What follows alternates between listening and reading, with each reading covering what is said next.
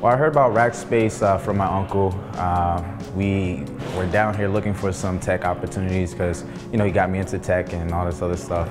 Um, so he told me about Rackspace. He did a Google search, found about Rackspace in the program.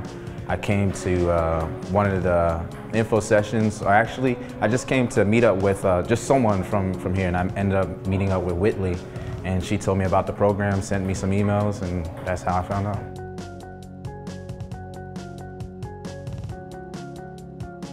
Uh, what motivated me was when I first came to one of the info sessions uh, with Jeff Lockhart. Uh, he's a great professor, very motivating.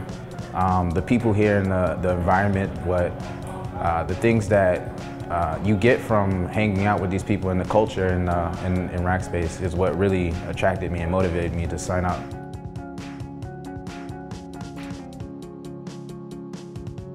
Um, I had a little bit of tech experience. Um, I just knew a little bit about everything um, but nothing to what I'm learning now. Uh, everything that I'm learning now is just, it's, it's a lot, and I, I love it, I love it.